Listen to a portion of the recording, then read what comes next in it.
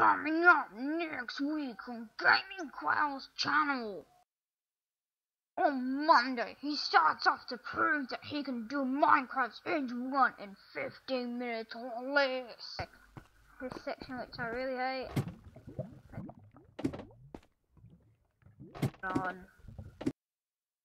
On Wednesday, Minecraft Quail tries to survive the deep dark caves in a survival world. Hmm. I don't like this. I don't like this. Ah. Then on Friday, to trap all things up, he goes on online bingo and rages so hardly. I